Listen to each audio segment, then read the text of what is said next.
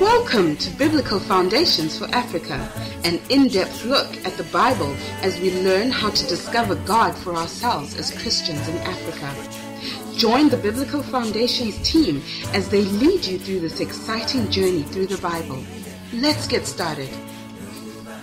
Good morning, faithful friends, and thank you for joining us once again here at Biblical Foundations for Africa, coming to you from Johannesburg in South Africa.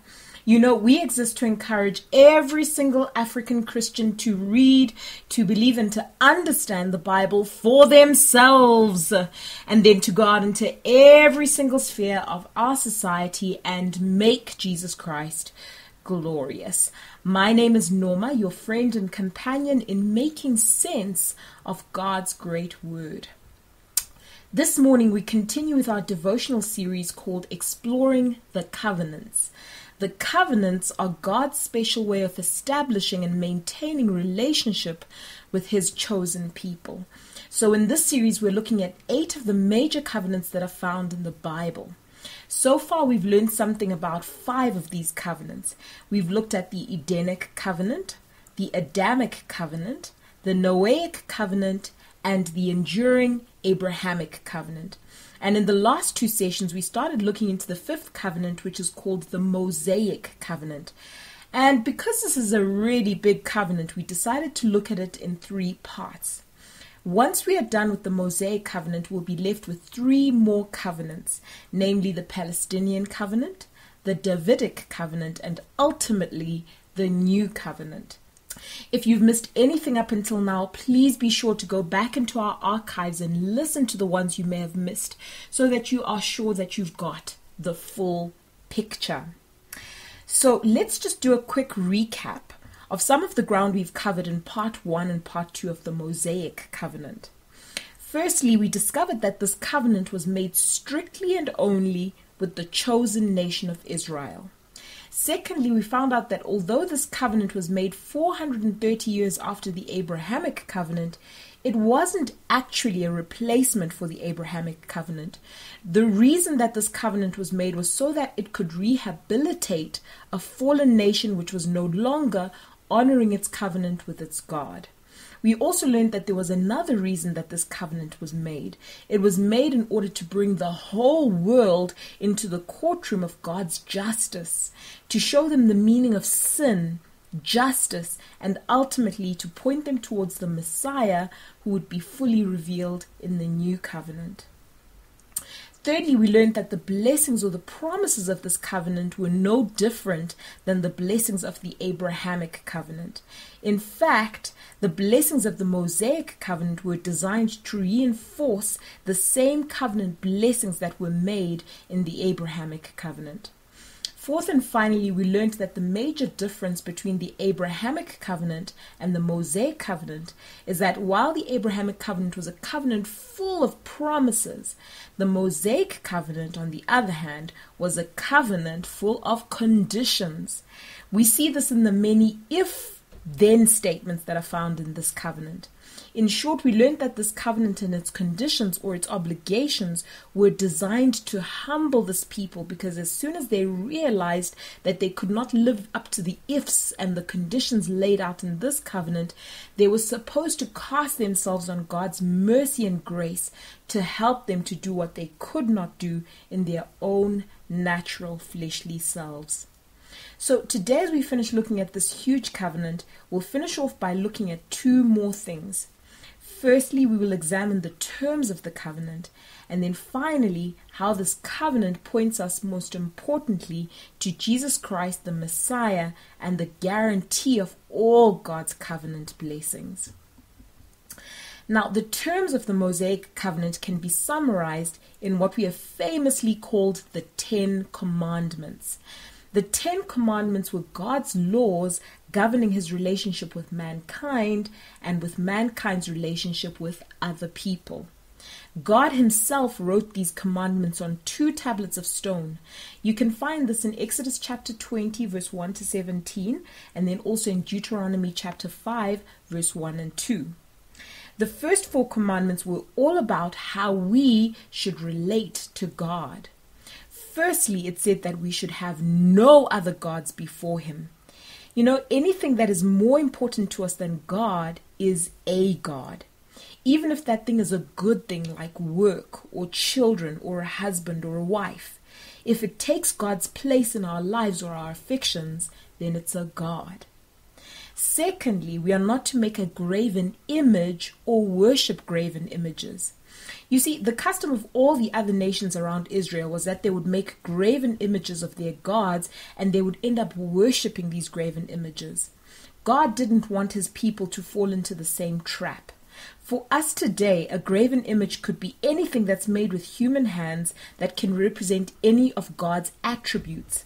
For example, some churches have made too much of holy oil, holy water, handkerchiefs, rituals, pictures, symbols, buildings, images, and so on that are supposed to be just representations, but they end up becoming a replacement for God Himself.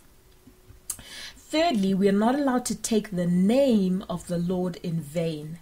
In other words, we shouldn't use God's name loosely. This includes using God's name in profanity or merely using Jesus' name carelessly. How many times do you catch yourself using God's name carelessly? The media does it very often, and many of us are not as careful with the holy name of God as we should be.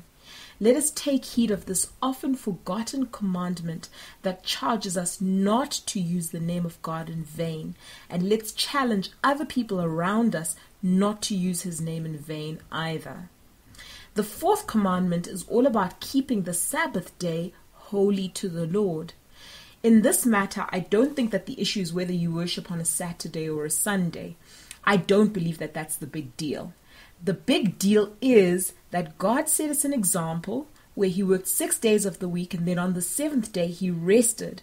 And right from the beginning, He mandated that mankind should do the same.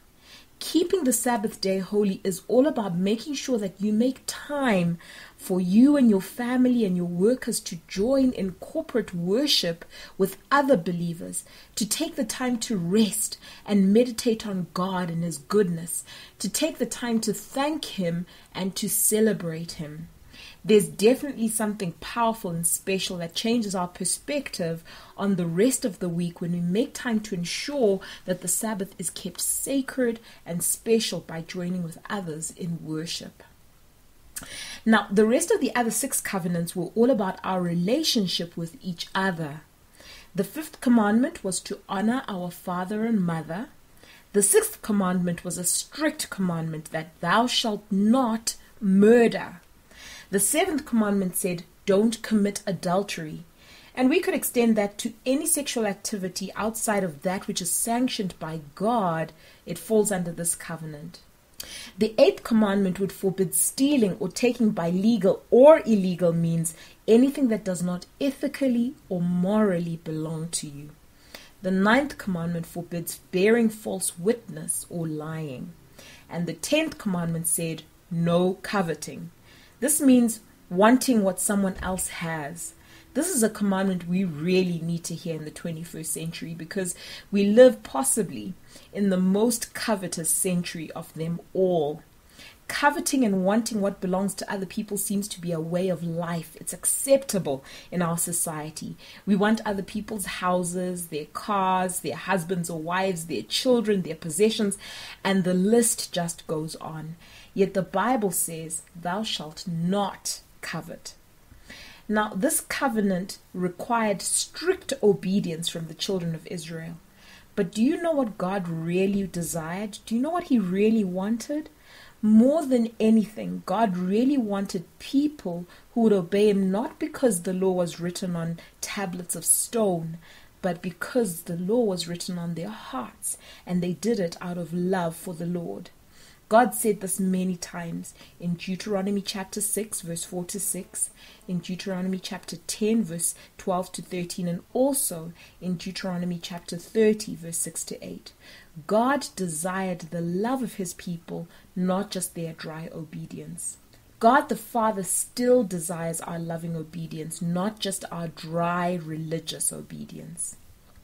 Okay, As we wrap up this covenant, let's quickly look at how this covenant ultimately points us toward Jesus Christ, who is the great hero of the Bible. Well, as we've said before, this covenant is very detailed, and we would spend a whole year talking about how each aspect of this covenant points us toward Jesus Christ. But we can summarize it into four major things.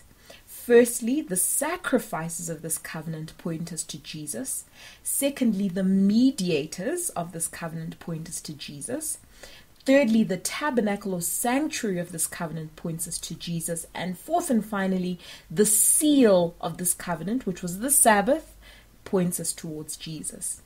We don't have time to explore these in detail today, but very briefly, firstly, the sacrifices. There were many sacrifices that were mandated in this covenant sacrifices of grain and bread, and sacrifices of blood.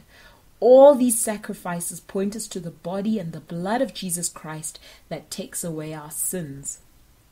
Secondly, the mediators of this covenant point us to Jesus. The mediators were the people that stood between God on behalf of the people, administering all the rituals and rites required to honor and fully obey. There were three main mediators in this covenant there was Moses, there was Aaron, and there were the Levites, who were the priests of the nation. The New Testament in Hebrews tells us that Jesus Christ is the great mediator between God and man, and he has achieved what all other mediators in the past could not do by reconciling God to man. Thirdly, the tabernacle or sanctuary points us toward Jesus Christ. Believe me when I say that when we do our next series about the tabernacle, you will be so blown away by how every single item in that tabernacle spoke of Jesus Christ. I can't wait to take you through that. Then, fourth and finally, the Sabbath itself points us towards Jesus Christ. The Sabbath is all about finding rest in God's presence. And when Jesus arrives on the scene many centuries later, he presented himself as our true Sabbath rest. In Matthew chapter 11, verse 28 to 30, he invited everyone who was weary or thirsty to come to him, and he would give them true and everlasting rest. Let's bring our hearts before the Father and ask Him to change them. Heavenly Father, I thank you for your covenant making and covenant keeping ways. Thank you that in the Mosaic covenant you showed us how to relate to you and how to relate to other people. Lord, our hearts are prone to all the things that you said we must not do in the Ten Commandments, whether other people can see it or not. Lord, we cast ourselves on your mercy and grace. Teach us to say no to ungodliness and to make us people who love and honor your ways from the heart. In Jesus' powerful name I pray. Amen. Join us again in the next session as we move on to the next covenant in this series. Find us right here every weekday with a new installment of Biblical Foundations for Africa. Feel free to chat to us on any of our social media channels. Be blessed and remember as you go out today to make Jesus Thank you for joining us today on our Biblical Foundations for Africa lesson. To find out more information, join us on our website www.biblicalfoundationsafrica.com. Also, we'd love to have you as our friend on our Facebook page and follow us on Twitter. See you next time.